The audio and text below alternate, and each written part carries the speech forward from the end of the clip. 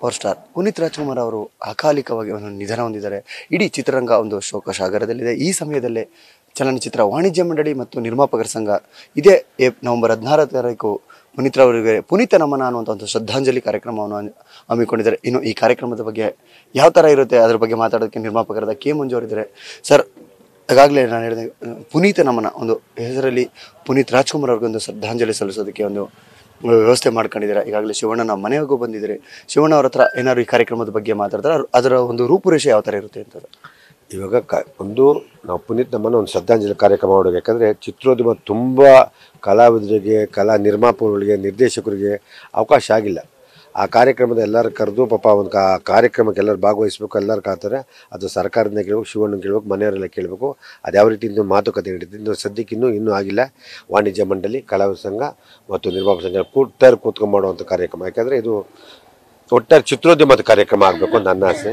ಅದರಿಂದ ಶಿವಣ್ಣವರು ಪಾಪ ಇವಾಗ ಬಂದು ಮಾತಾಡಿಕೆ ಯಾರು ತುಂಬ ಅಭಿಮಾನಿಗಳು ಬಂದು ಅಲ್ಲಿ ಶಿವಣ್ಣ ನೋಡಲೇಬೇಕು ಅಂತ ಕೂತಾರಂತೆ ಪಾಪ ಅವರು ಆತರಕ್ಕೋಸ್ಕರ ಈಗ ಹೊರಟರು ಶಿವಣ್ಣ. ಯಾಕೆಂದರೆ ಎಲ್ಲ ನೊಂದೋಗ್ಬಿಟ್ಟವ್ರೆ. ಈ ನಮಗೆ ಏನು ಮಾಡೋಕ್ಕೆ ಮೈಂಡೇ ಓಡ್ತಾ ಇಲ್ಲ.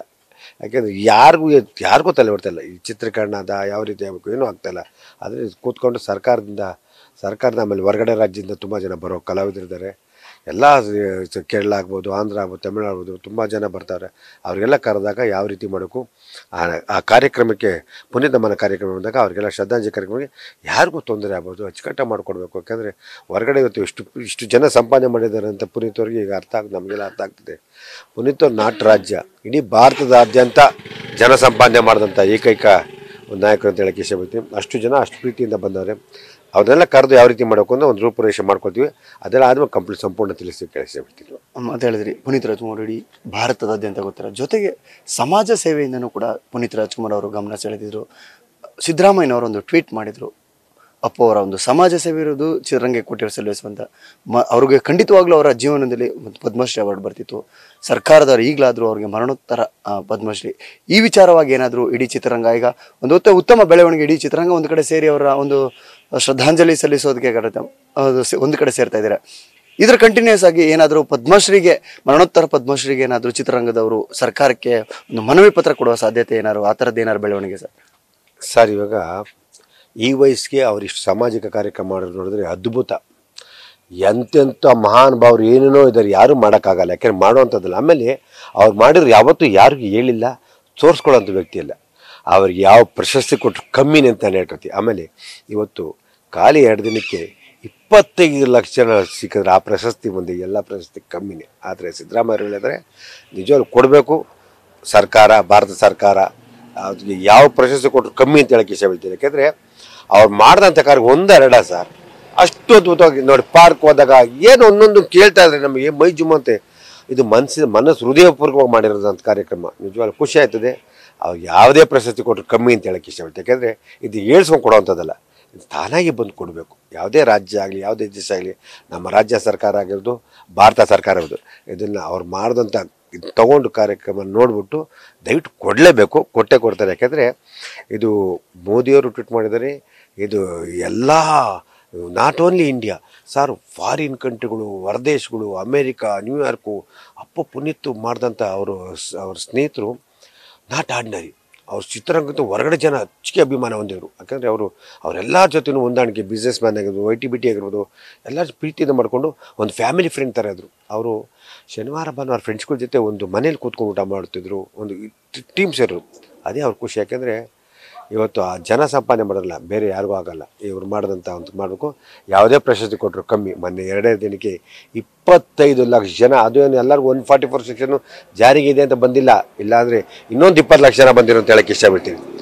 ಕೊನೆಯದಾಗಿ ಕೊನೆಯದಾಗಿ ಸರ್ ಅಪ್ಪ ಅವರ ಒಂದು ಅಕಾಲಿಕ ಮರಣ ಚಿತ್ರರಂಗದಲ್ಲಿ ಒಂದು ಒಗ್ಗಟ್ಟಿನ ಶಕ್ತಿಯನ್ನು ತುಂಬುವಂಥ ಲಕ್ಷಣಗಳು ಕಾಣಿಸ್ತಿದೆ.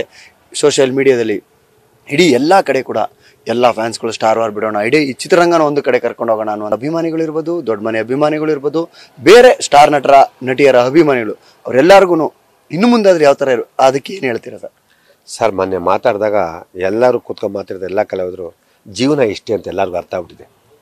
ಮನುಷ್ಯ ಜೀವನ ನೀರ್ ಮೇಲೆ ಗುಳ್ಳಿದಂಗೆ ಯಾವಾಗ ಏನು. ಯಾಕೆಂದ್ರೆ ಬೇರೆಯವರೆಲ್ಲ ಅಟ್ಲೀಸ್ಟ್ ಅನಾರೋಗ್ಯದಿಂದ ಸತ್ತರೆ ಪುನೀತ್ ಅಂತ ಒಬ್ಬ ಆರೋಗ್ಯವಂತ ಒಂದು ಎಕ್ಸಸೈಸು ಮೇಂಟೆನೆನ್ಸು ಗುಡ್ ಇರೋ ವ್ಯಕ್ತಿನೇ ಈ ಥರ ಆದಾಗ ಬೇರೆಯವ್ರಿಗೆ ಅದಕ್ಕೆ ಎಲ್ಲರೂ ಇಡೀ ಚಿತ್ರೋದ್ಯಮ ನಮ್ಮ ಭಾಷೆ ನಮ್ಮದು, ನಮ್ಮ ಭಾಷೆ, ನಮ್ಮ ಸಿನಿಮಾಗಳು ಹೋಗ್ಬೇಕು ಎಲ್ಲರೂ ಹೋಗ್ಬೇಕು ನಾವೆಲ್ಲ ಒಟ್ಟಾಗಿರ್ಬೇಕು.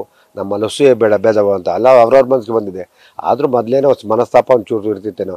ಆಮೇಲೆ ಯಾರು ಅಷ್ಟು ನಮ್ಮ ಚಿತ್ರರಂಗದಲ್ಲಿ ಅಷ್ಟು ಕ ಕ, ಕ್ರೂರಿಗಳು ಇರಲಿಲ್ಲ. ಎಲ್ಲ ಪ್ರೀತಿ ಇದ್ದರು ಕೆಲವು ಟೈಮ್ ಹೊಂದ್ಕೊಂಡಿರೋ ಮಾತಾಡೋದು ಅಂದರೆ ನಮ್ಮ ಕನ್ನಡ ಚಿತ್ರ ನಿಜವಾಗ್ಲೂ ಅದ್ಭುತವಾಗಿ ಒಟ್ಟಾಗಿದ್ದೀವಿ ಇನ್ನು ಚೆನ್ನಾಗಿರ್ತಾರೆ. ನಾವೆಲ್ಲ ಒಂದಾಗಿ ಒಂದು ಒಳ್ಳೆಯ ಸಿನಿಮಾಗಳನ್ನ ಈ ಪ್ರೇಕ್ಷಕ ಬಂಧುಗಳು ನೋಡಿದ್ರೆ ನಾವು ಸಿನಿಮಾ ಮಾಡೋಕ್ಕೆ ಇನ್ನೂ ಹೆಚ್ಚಿಗೆ ಇದು ನಮ್ಗೆ ಹುಮ್ಮಸ್ ಬರ್ತದೆ.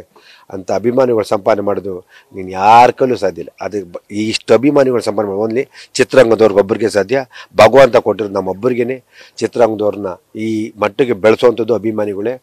ಅವ್ರನ್ನ ಯಾವತ್ತೂ ಕೈ ಅವ್ರು ಯಾವತ್ತೂ ಅಭಿಮಾನಿಗಳನ್ನಾಗಲಿ ಚಿತ್ರರಂಗನಾಗಲಿ ಚಿತ್ರಗಳನ್ನ ಕೈ ಬಿಡಲ್ಲ. ಅವ್ರ ಪ್ರೋತ್ಸಾಹ ಇರಬೇಕು, ಅದೇ ಬೆಳೆಸಬೇಕು ಅಂತ ಹೇಳಕ್ಕೆ ಇಷ್ಟಪಡ್ತೀನಿ.